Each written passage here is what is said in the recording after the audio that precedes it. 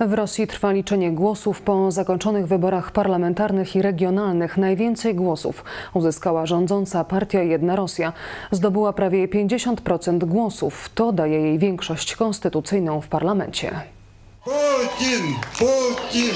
Putin! Tak rządząca partia Jedna Rosja świętowała swoje kolejne zwycięstwo w wyborach parlamentarnych.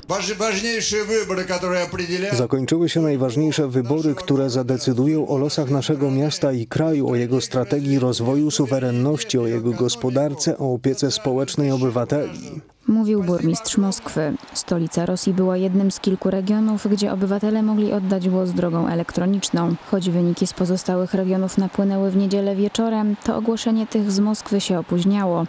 Centralna Komisja Wyborcza wskazywała na problemy techniczne. O fałszowanie wyników głosowania online oskarżył jedną Rosję opozycjonista Aleksiej Nawalny. Robot zamyślił się, zapalił i postanowił, że opóźni publikację wyników, dopóki zręczne rączki działaczy jednej Rosji nie podrobią rezultatów na całkowicie przeciwstawne. Wyników nie uznaje także Komunistyczna Partia Federacji Rosyjskiej, która uplasowała się na drugim miejscu z wynikiem 19% głosów. Presji ze strony Rosji uległy znane serwisy internetowe. YouTube zablokował nagranie zawierające nazwiska kandydatów w wyborach wspieranych przez Nawalnego.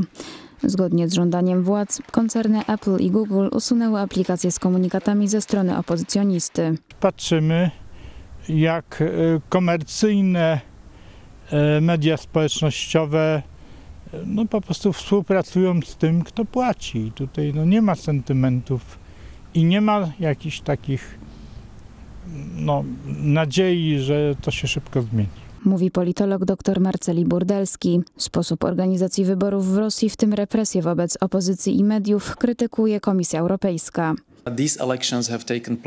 Wybory te odbyły się w atmosferze zastraszania osób wyrażających głosy krytyczne bez wiarygodnej obserwacji międzynarodowej.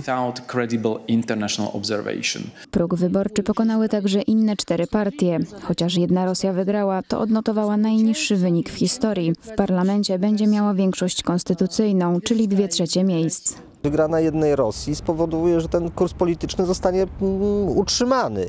I tutaj nie należy spodziewać się nawet żadnych, myślę, yy, zmian. Jeśli chodzi o politykę wewnętrzną, ale również i politykę, czy przede wszystkim nas interesującą politykę zagraniczną Rosji.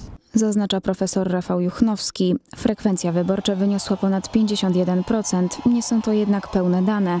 Ostateczne wyniki zostaną ogłoszone w piątek.